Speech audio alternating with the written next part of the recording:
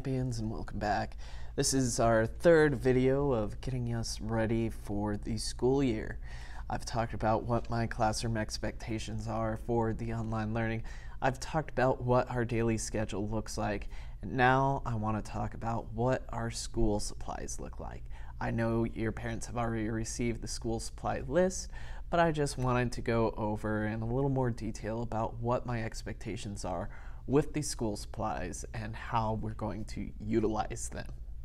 Because I know myself, my parents always like, we bought all this stuff for school, we never used it. Here's why we need the list that we have in particular. Okay? So, the first thing that I put on our school supply list for this year is a pencil pouch. Something like this. This pencil pouch happens to have uh, binder clip, so this could go in a binder. Okay, this pencil pouch houses everything I need to be successful for the school day. All that and more. It doesn't need to be overflowing, just the basics. And those basics that I'm talking about, well, I want pencils. At least two pencils a day with relatively good erasers. I know it says a 24 pack of pencils. In my experience as a teacher, if you start off day one with all 24 pencils in your possession, by the end of the week, you'll lose 24 pencils. But if you start with two a day and make sure that every day you check that pencil pouch and you know that you have two pencils, you're good to go. Okay? I also put colored pencils. And yes, I did put a 24 pack. If you want crayons, if you want markers, if you want colored pencils, whatever medium works best for you.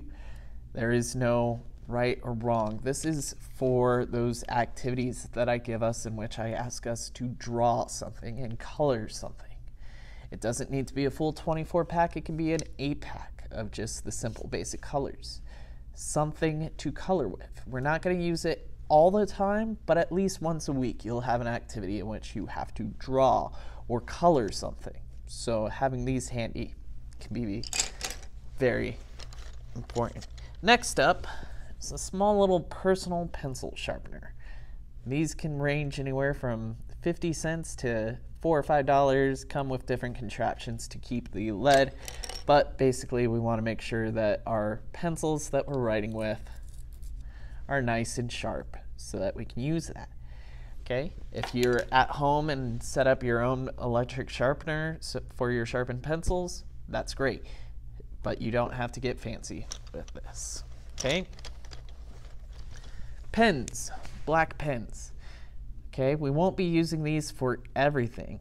However, there's going to be a few times, especially with our creative writing, that I want to see us take our rough drafts that we've handwritten out and try our best to make a final draft in pen. Okay, so I put 10 on there, more or less, as long as you have a pen when the time comes to practicing our formal uh, finished drafts or final drafts. All right. I also have red pens, any kind of red pen, clicky, uh, stick in cap. If it's a red pen, we're going to be using that because there's going to be a few times where we have a math assignment or science assignment and I want you to check your own work. So using the red pen helps us to mark in a color other than black or in pencil so this red pen will be used for our corrections. You don't need a full pack, but having some red pens available would be nice. I put Kleenex or tissue. Okay? Everybody has that one day in which they come to school, they get to class, and their nose is running. You may not be 100% sick, could be allergies, could just be the common cold, but having these available is nice so that you can blow your nose and take care of that yourself. All right, so that's pretty much everything that I have in my pencil pouch. If I want more, I can put more. If I want less, I can have less. The more stuff you have in here, the more likely it is that not everything's going to be used or that we could lose some of our things that we might really need later on in the school year. Okay? All right, next up, I have an 8 by 12 personal whiteboard, something like this that I can write on.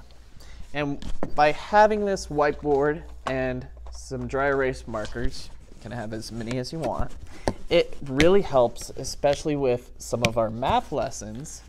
If, say, I have 7 times 9, I write 7 times 9 on there, and my answer would be 63.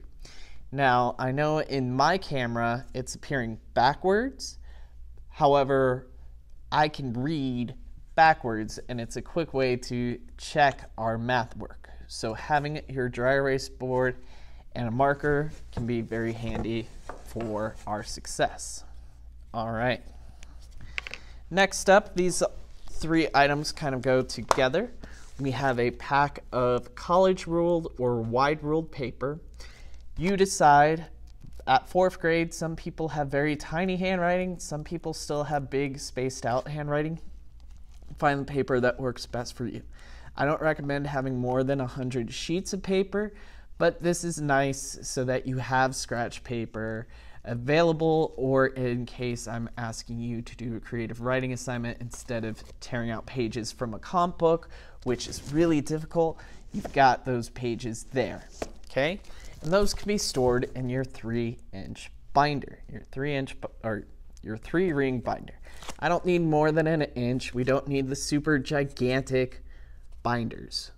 A small binder that we can hold our paper in and that we could put five tabs in. This scholar had more than five tabs. You just need five uh, because this is also going to double as our leadership notebook. And there's going to be whole videos and trainings on how to utilize our leadership notebooks to our fullest extent. But that's what we're using the binder, the tabs, and the line paper for. Okay? I forgot to have my flashcards, but uh, even still, if I had index cards or flashcards, I could practice every day, especially with multiplication and division. Fourth grade's a big year for making sure we have our multiplication facts. There will be videos on how to fully utilize our flashcards so that we're gaining from them uh, that should be coming out in the first couple weeks of school. Okay? And the last two things that I wanted to say is you need two composition books. One composition book that is going to be your vocabulary and things to remember. This is a catch all book for all of our different subjects. I wanted it to be a composition book because none of the pages can ever fall out. It's really difficult to lose pages from here. Now, if you want to go above and beyond with your uh, book, if you want to find these post-it uh, tabs, you can set tabs in there. You can set four tabs of uh, math, science, language arts, and history or social, social studies. And you can put those tabs in there so you can flip open to what section. Or you can just uh, label each page what day and what subject it is. This is your catch-all for notes. Uh, the last one you're going to have is another composition book. Mine's yellow. I set it on the table over there, so I can't grab it just right now. But it is my morning meditations journal, where I write down the quote from the morning message. I write out my thoughts before I type it. Okay, and that, those two will be used pretty much daily. I'm saying two to get us started. Come second quarter, it may be a possibility you may need to acquire more notebooks. Uh, depends on how big you write or how much you write with each activity. And with that being said, that concludes our list of things that you need for online learning. I'm going to throw in two more things for those scholars who aren't at home completing online learning, whether you're here at Paideia in the cafeteria or if you're at Boys and Girls Club or any other uh, place where you're not at home and you might be interacting with other scholars or people. Face mask. You want to use your face mask if you're anywhere in public.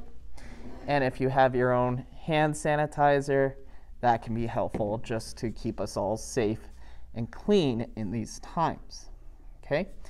So, those are what you need for success.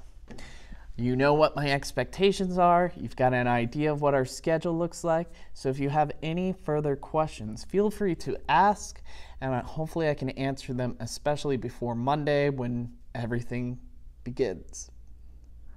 Take care, stay awesome, and I'll talk to you soon.